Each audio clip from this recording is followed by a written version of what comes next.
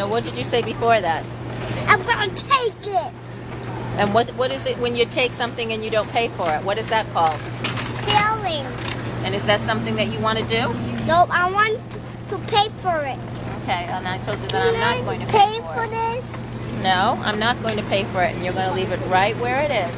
But please, I won't pay it for you. Can I have this? No, you can't.